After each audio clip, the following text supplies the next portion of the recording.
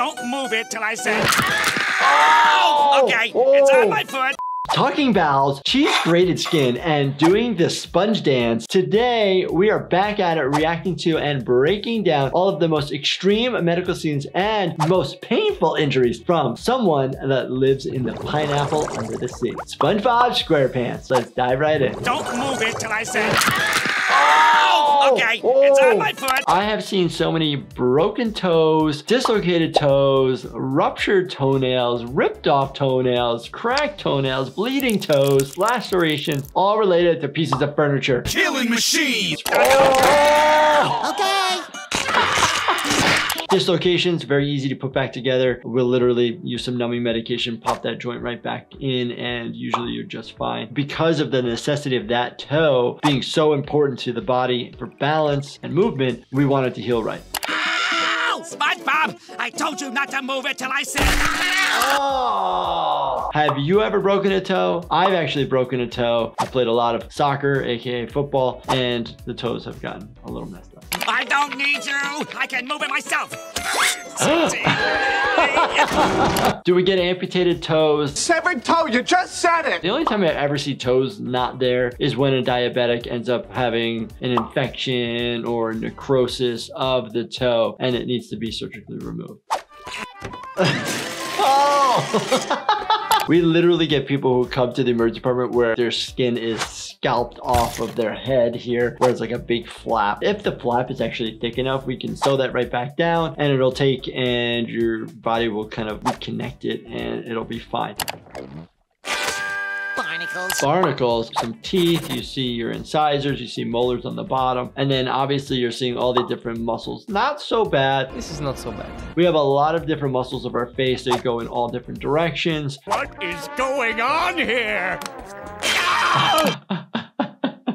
We see degloving injuries, pretty intense. Usually it's from a trauma. Sometimes you can actually just slide it all back together. Other times the patient needs to have multiple skin grafts and multiple surgeries to cover those areas. Oh, what? Tape hurts? Sometimes when you go to surgery, they'll actually shave the area, but they'll actually use tape, like duct tape. They'll just make sure that there's no extra hairs that's floating around and reduce the possibility of wound infections. He can't treat us like this anymore. The eyeballs have six muscle attachments on the back of the eye, plus the optic nerve, so you'd see all that. At least we got the skull with the teeth up into the maxilla, the ribs almost coming all the way around the heart and the lungs, and we got some intestines. So we got some anatomy here in SpongeBob. I said I will not. what? Oh my gosh. squid squeezy? What the heck? We do see people who come in with skin flapped open. The only other time I ever see the anatomy of the inside major traumas is actually when we cut open the chest ourselves and we do a thoracotomy. But most of the time when I'm seeing intestines, it's usually on a CT scan. I'm assuming that's like squid ink or something. Hold still, buddy. Whoa. In the elderly population, their skin is so thin. You could literally put a piece of tape on. If you rip too hard or pull tape too hard, you can rip their skin off. They lose a lot of the subcutaneous fat underneath the skin, so there's not much holding it together. Oh, we actually see a lot of people come to the emergency department with abscesses in the armpit, clogged glands, and you get this horrible, cheesy smelling white purulent comes out. Dr. Pimple Popper is probably the place to go to take a look at those things. Band-aid in the armpit. We actually refer to the armpit medically as your axilla. Having a band-aid over that seems like nothing compared to an abscess in your armpit. Oh, I can't quite reach it.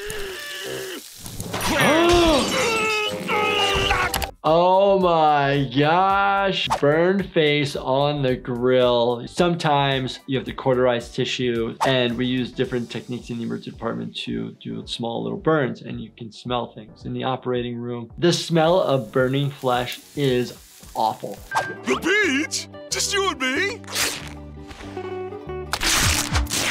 Whoa. whoa, whoa. I like that he's got the snaggle tooth, the one tooth there. But we got good striations of muscle, different directions. I love it. So am I ready for the beach, SpongeBob? Uh, sure. Little sunscreen, and I'm sure you'll be fine. So we have sunscreen, sunblock. Make sure that when you do go out in the sun, please use something, but also use stuff that is safe for the environment as well. But trust me, I'm the sunscreen. Okay, I don't see too many cheese grater injuries. Do see a lot of salon injuries where like people who cut hair, their scissors are so sharp that they actually may cut themselves and they just bleed like heck. Oh! We'll see people who get crush injuries from heavy weights. Obviously, we worry about fracture, making sure that you don't have a release of potassium into your system, which then could lead to destruction of other byproducts of the body. What is up with this guy's leg? Don't ever put anything in the garbage disposal that shouldn't go there because you don't know if it's on or not. Something's gonna get caught up in there and you can take your hand off, take your foot off. Now you're doing the sponge. I do the sponge, sponge. Oh my god, their legs are up in the air and now they're bouncing on their groins. No matter what type of genitalia you have down there, it's gonna hurt. That's gotta hurt. You're bouncing on your pubic bones. If you bounce on the vaginal tissue, that hurts on your labia. And then if you bounce on your testicles or your penis, uh, that's gonna hurt a lot too. Uh, oh! I've never seen somebody pull off their own limb. I've seen people kind of rip their own tissue, but not be able to just tear apart their own leg. One, the pain would be not tolerated, and the mechanics are way off. Let's go get a Krabby Patty. Trample injuries are a real thing. People get crushed by people stepping on them, causing fractures to the ribs, causing a hemothorax, pneumothorax, maybe traumatic brain injury, and then also asphyxiation where they can't breathe and they can become hypoxic and die.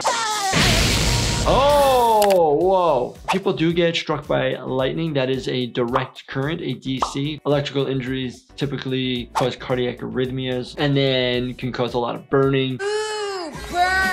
Tissue destruction, a lot of injuries on that level. So you have to be really careful. Perhaps a soothing limerick will calm thee. There once was a dragon so handsome and smart. He let me go free, for he had a big heart. Everyone beeth a critic. Obviously, if you get electrocuted any which way, get to the hospital, get checked out. We need to do some blood work. We need to get an EKG. We just need to make sure that you're okay. There could be underlying soft tissue injury that you don't see because there's typically an entrance and an exit wound. SpongeBob SquarePants never fails, always interesting, a little kind of out there. If you guys enjoyed this, definitely check out this playlist right here, binge watch everything. And as always, make sure you subscribe, turn on your bell notifications, and hit that like button for me. Thank you so much for watching and stay healthy, my friends.